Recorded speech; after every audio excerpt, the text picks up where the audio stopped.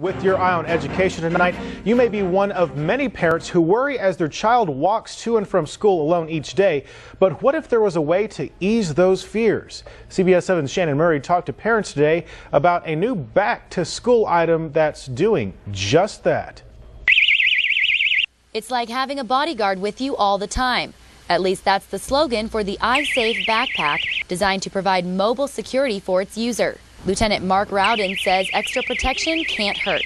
People have tried to entice them into vehicles, uh, whether it be offering them candy or offering them uh, uh, puppies or whatever. While he says those incidents are far and few between, there are many dangers that kids face on a regular basis. Whether it is a bullying situation or uh, a traffic situation, there are a lot of dangers out there for our kids and the families we spoke with agree. I just think it'd be safe, like when they're getting off the bus and they're having to walk home by themselves.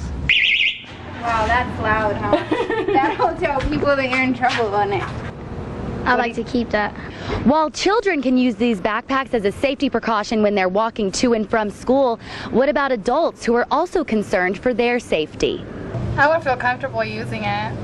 Well, at least better than what I do when I'm just walking by myself to the car.